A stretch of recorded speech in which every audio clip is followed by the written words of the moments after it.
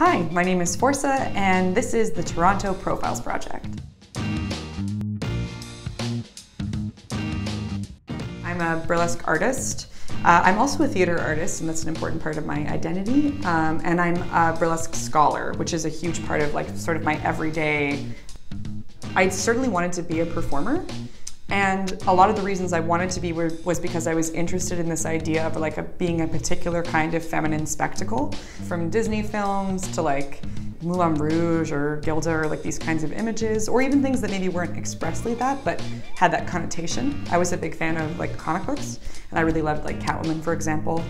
Catwoman isn't an evil figure, but is like a really kind of uh, interesting um, sort of anti-hero, and she does a lot of advocacy for other, for specifically other women, especially women who do sexualized labor, like sex workers. And in general, it's just kind of all about being stuck in a system that doesn't really care about you as a, as a woman, um, and as a woman who's coded certain ways and uh, being able and realizing that you have to take advantage of that system when and if you can and create space for yourself even if it doesn't want you to be there. And i think i've always seen the stage as a space where people can really kind of like unleash themselves safely and also be fun and campy and stupid and parodic and that was something that I thought was so important about it that I maybe wasn't getting in some of the more sort of serious avant-garde theater work that I was doing, uh, let's say like while I was in university.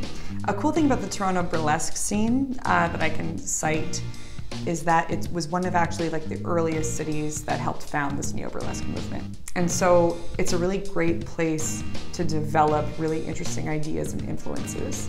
And so seeing uh, theater or dance or opera or, or going to a gallery can really help give you new ideas. Literature, for me, gives me a lot of ideas. Like I think certainly without you know, training in and exposure to Toronto theater, I wouldn't be the kind of performer I am now in burlesque, like for certain thank you